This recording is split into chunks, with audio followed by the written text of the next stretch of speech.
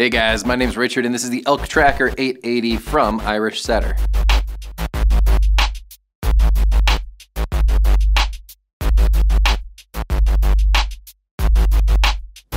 These boots have a full grain leather upper with a triple stitch construction for added durability. Got that lace up system running up the front to lock your foot in.